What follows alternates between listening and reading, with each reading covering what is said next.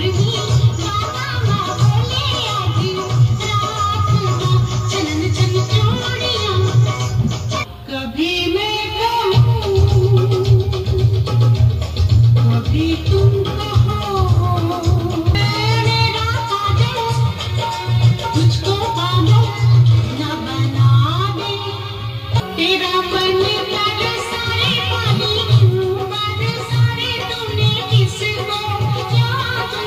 तो नमस्कार दोस्तों, कैसे हैं आप सभी? राजा बाबू नई शरा यूट्यूब चैनल की पुरानी भूली बिसरी यादों के एक और नए वीडियो में आप सभी दर्शकों का बहुत बहुत स्वागत है बहुत बहुत वेलकम है। दोस्तों, जब जब हम नब्बे के दशक की बात करते हैं तो दोस्तों, बिना संगीत के हम रह नहीं सकते, क्योंकि हमारे मनोरंजन का एक ही साधन जो कि बहुत अच्छा था, वो था ऑडियो कैसेट और कैसेट प्लेयर तो आज के वीडियो में जो अभी आपको मैंने थोड़े थोड़े गानों की झलकियाँ सुनाई ना, उस फ़िल्म का नाम है लम्हे, जिसमें अनिल कपूर जी मुख्य भूमिका में थे। गाने इसके बहुत ही अच्छे थे, जैसे कि वो मोरनी बागा में नाचे आधी रात माँ। बहुत ही प्यारा गाना था ये, और भी इसके गाने अच्छे थे। तो आज के वीडियो में हम करने वाले हैं एचएमबी कंपनी पर आई लम्हे फ़िल्म का ऑडियो कैसेट रिव्यू एवं इससे जुड़ी कुछ अनसुनी बातें। तो वीडियो एंड तक देखना, यदि वीडियो आपको अच्छा लगे और आपकी पुरानी यादें ताज़ा हो जाएँ तो लाइक ज़रूर करना और अभी तक आपने मेरा यूट्यूब चैनल सब्सक्राइब नहीं किया है तो प्लीज़ सब्सक्राइब भी कर लेना। और दोस्तों, हमारे चैनल पर एक फ़ंक्शन और ऐड हो गया है, जो कि आप नीचे देख रहे होंगे, उसमें लिखा है थैंक्स जैसे लाइक डिसलाइक के बगल में हुआ एक थैंक्स तो उस पर भी क्लिक कर कर हमारे चैनल का आप सहयोग भी कर सकते हैं। और यदि आपकी पसंद की कोई ऐसी ऑडियो कैसेट है, जिसकी आपसे ढेर सारी यादें जुड़ी है।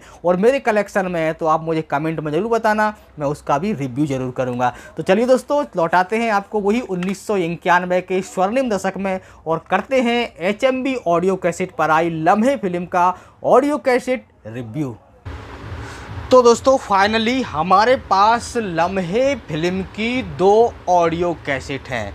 एक है सिंगल दूसरी है कॉम्बो। कॉम्बो भी दोस्तों बहुत ही शानदार है, जो कि है चांदनी के साथ में। और चांदनी फ़िल्म में भी बहुत ही प्यारे गाने थे, जैसा कि आप जानते हैं। तो आज के वीडियो में हम करने वाले हैं लम्हे फ़िल्म का ऑडियो कैसेट रिव्यू, जो कि सन उन्नीस सौ इक्यानवे में आई थी। इसके गाने बहुत ही शानदार थे। तो चलिए सबसे पहले हम देखते हैं लम्हे फ़िल्म की मास्टर कैसेट, जो कि एच के बैनर तले आई थी। ये देख लीजिए, बहुत ही पुरानी कैसेट है दोस्तों। कैसेट देखकर आपकी पुरानी यादें ज़रूर ही ताज़ा हो जाएँगी। तो इसमें लिखा हुआ है, यशराज फिल्म्स लम्हे। इसके म्यूज़िक था दोस्तों, शिव हरि का और लिरिक आनंद बख्शी के थे। और ये देख सकते हैं, एचएमबी के बैनर तले आपको दिख रही होगी। अनिल कपूर और इसमें श्रीदेवी भी आपको दिख रहे होंगे और साइड में दिख रहे हैं अनुपम खैर जी। चलिए इधर से दिखाते हैं। तो इधर से देखने पर आप देख सकते हैं, लम्हे लिखा हुआ है एचएमबी का लोगो बना हुआ है। ये देख लीजिए, लम्हे फ़िल्म की ओरिजिनल मास्टर कैसेट और ये देख सकते हैं आप gramophone company of India limited H और ये ओरिजिनल कैसेट है दोस्तों। चलिए कवर दिखाता हूँ आपको। यदि हम दोस्तों कवर की बात करें तो यहाँ पर सारी जानकारी लिखी हुई है और यहाँ पर गाने भी लिखे हुए हैं। इसके देख सकते हैं प्रोड्यूसर डायरेक्टर यश चोपड़ा है इसके और इसमें बहुत सारी जानकारी इसमें लिखी हुई है। चलिए गानों की बात करते हैं। दोस्तों गाने कैसे हैं? और गाने तो बहुत अच्छे हैं, आप जानते हैं, बहुत साल हो गए इस फ़िल्म को आए हुए और आपने भी लगभग उस दशक में इसके गाने सुने होंगे और आज भी ऐसा मेरा मानना है कि आप सुन रहे होंगे। फिर भी आपकी यादें के लिए मैं सबसे पहले गाना बताना चाहूँगा। तो चलिए दोस्तों, हम गानों की बात करते हैं। तो साइड ए का बहुत ही प्यारा सुपर हिट गाना चूड़ियाँ खनक गई और इसमें आवाज़ें हैं लता मंगेशकर और इला अरुण की। दूसरा गाना है, कभी मैं कहूँ, ये भी गाना बहुत ही अच्छा है, लता मंगेशकर और ए हरी हरन की आवाज़ में। और जो तीसरा गाना है, वो भी बहुत अच्छा है, मेरी बिंदिया, जिसमें कि लता मंगेशकर की आवाज़ें हैं। चौथा गाना है, ये लमे है, पल हैप्पी गाना है ये। इसमें आवाज़ें हैं ए हरिहरन की, और जो पांचवा गाना है, वो है दोस्तों, गुड़िया रानी लता मंगेशकर की आवाज़ में। अब हम बात करेंगे साइड बी की, और साइड बी में जो पहला गाना है, वो है दोस्तों, फ्रैक आउट, और इसमें पैमिला चोपड़ा और स्वदेश भोंसले की आवाज़ में है। दूसरा गाना है, याद नहीं भूल गया। लता मंगेशकर, सुरेश वाडकर की आवाज़ में। और जो तीसरा गाना है दोस्तों, बहुत ही सुपर हिट गाना है, मेघारे मेघारे। और लता मंगेशकर और इला अरुण की आवाज़ में। और चौथा गाना है, मोहे छोड़ दे, लता मंगेशकर की आवाज़ में। और जो पाँचवा है, वो मूवमेंट ऑफ़ पैसन है, जो तो इस प्रकार इसमें गाने दिए हुए हैं। लम्हे फ़िल्म की ऑडियो कैसेट का कवर आप देख सकते हैं। बहुत ही पुरानी ऑडियो कैसेट है ये। और दोस्तों, इतने साल हो गए हुआ है इन ऑडियो कैसेट को लेकिन अभी भी इनकी खनक और आवाज़ बरकरार है उस दशक को याद करा देती है। चलिए हम दूसरी बात करते हैं, और दूसरे में है हमारे पास बहुत ही प्यारा कॉम्बो।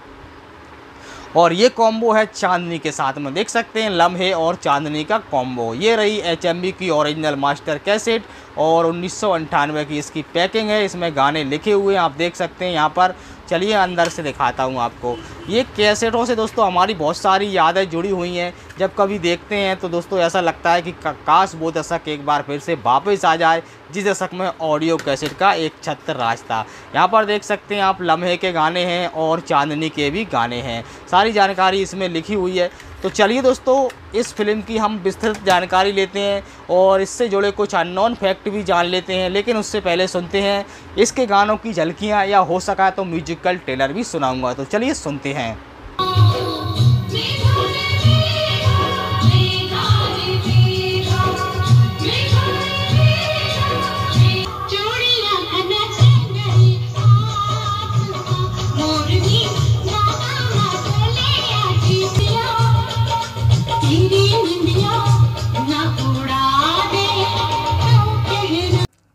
लम्हे उन्नीस सौ इक्यानवे में आई एक रोमांटिक और ड्रामा फ़िल्म थी। इस फ़िल्म में हमको मुख्य भूमिका में नज़र आए श्रीदेवी, अनिल कपूर, बहीदा रहमान, अनुपम खेर, डिप्पी सागू मनोहर सिंह, ललित तिवारी एंड दीपक मल्होत्रा।